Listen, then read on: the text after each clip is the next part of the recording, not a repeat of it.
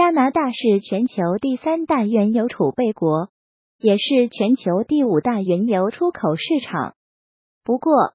与那些传统石油国不同的是，这一得天独厚的资源优势，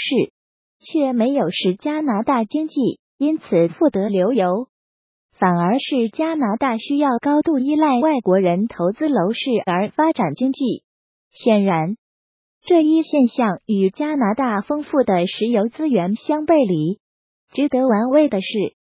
近日事情的最新进展是，加拿大的石油产业或正在受到伤害。加拿大石油生产商协会 （Canadian Association of Petroleum Producers） 简称 CAPP 北极总监保罗·巴恩斯日前表示，加拿大在开发海上石油和天然气资源方面落后于其他石油生产商。这是由于两千零一十六年以来，加拿大已暂停在北极水域的钻探。与此同时，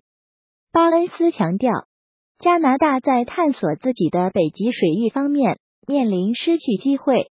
原因在于美国最近采取的重新开放阿拉斯加北极地区进行钻探的行动。